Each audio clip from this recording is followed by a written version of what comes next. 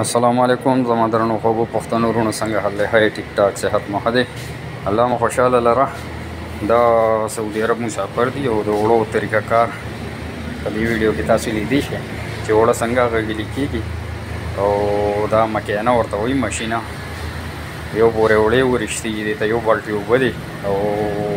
دوه کفه مالګه ده او دوه چمچه سو څلور چمچه سوډا ده او دوه چمچه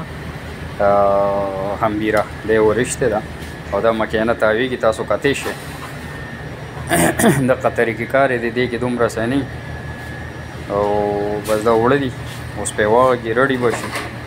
دا یو بوره وړه چې کم دی زیات نه زیات دا لس منټه ټایم لري په لسو منټو کې دا تاسو له یو بوره وړه درکوي بس الله مو روغ جوړ لره او دا چینل د سبسکرایب کې او ان شاء الله آینده ته غواړم د خپل خپل ویډیوګانې جوړوم د الله په امان